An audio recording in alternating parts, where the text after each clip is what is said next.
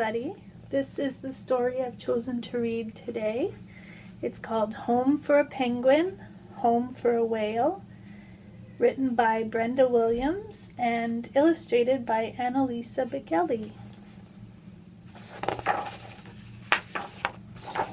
That cute picture.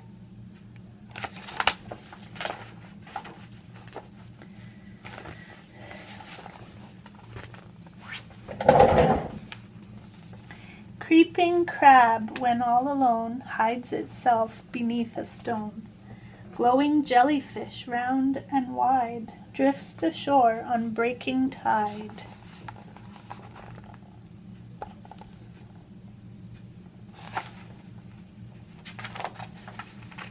Flightless penguin waddling free, dips and dives in icy sea.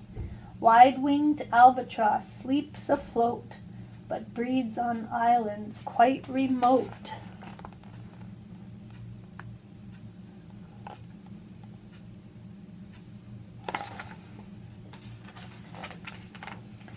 Huge blue whale with swiftest motion travels far in every ocean.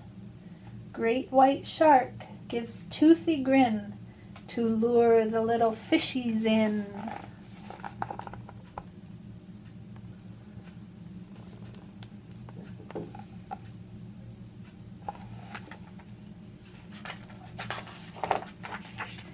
Wandering polar bear, white as snow, slumbers on a cold ice floe. Long-tusked walrus bellows loud and likes to gather in a crowd.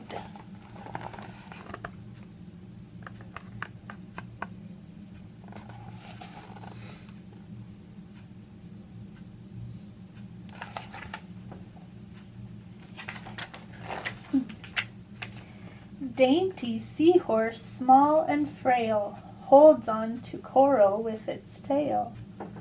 Cunning octopus in disguise blends with backgrounds to surprise.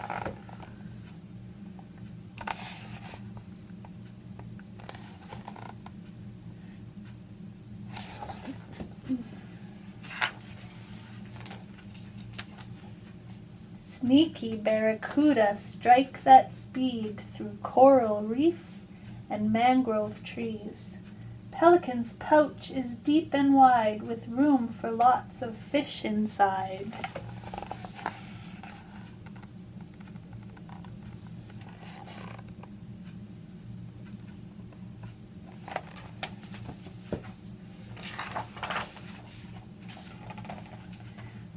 Dolphin leaps and dives in play, but uses sound to catch its prey.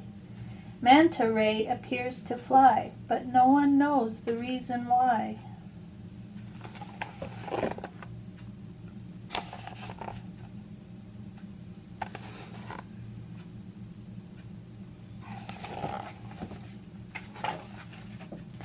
Orca's teeth are sharp and long, it talks by singing secret songs.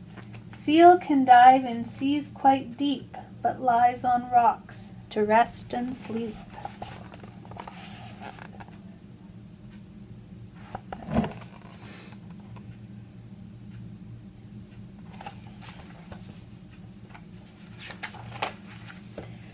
Flying fish can leap and glide above the sea with fins stretched wide.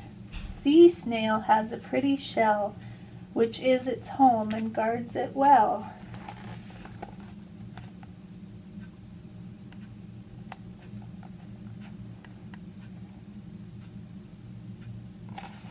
There's some treasure on this page. Sea otter dines while on its back, using its stomach to hold a snack. Sea urchin can be large or tiny, but it is always round and spiny.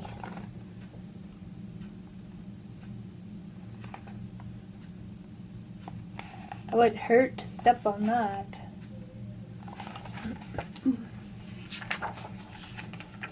Lobster hides in rocks and weeds, but hunts at night for the food it needs. And here beside the surf and foam, I just love my seaside home.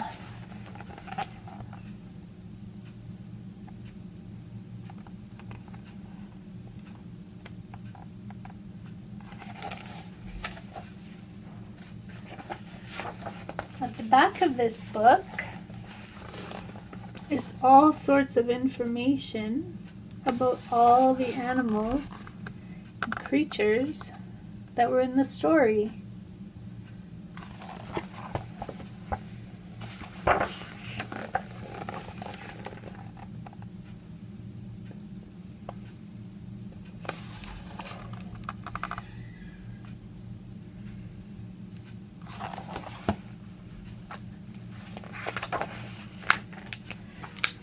There's even information about the oceans in the world.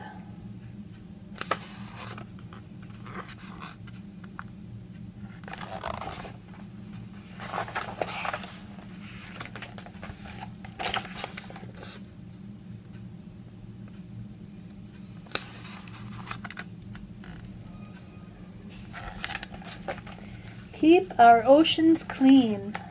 That's very important.